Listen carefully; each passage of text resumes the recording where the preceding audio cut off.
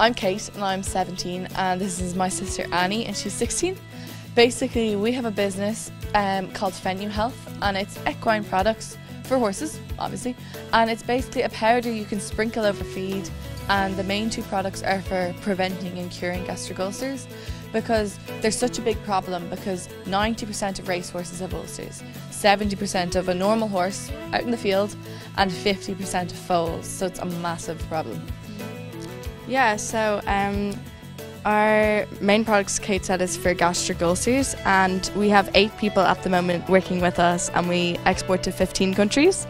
So we're just kind of keeping going anyway and still going at it. So our main advice, really, for anybody trying to get started or even just like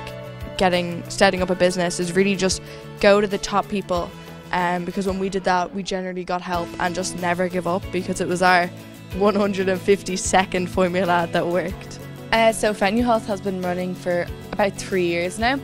um, and we're actually looking at taking on five more people so we have eight and we're hoping to bring five more just to add to the team to build up our contacts international. And we're managing all this as well as I'm doing the leaving cert and Annie's in transition year, so we're still in school.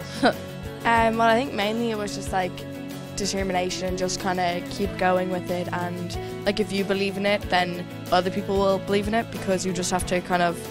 uh, keep really selling it and kind of promoting it and having that faith in the business. The main advice we give to anyone else is basically you can plan all you want but at the end of the day you need to get up and do it um, and also just to never give up ask the top people and they'll help you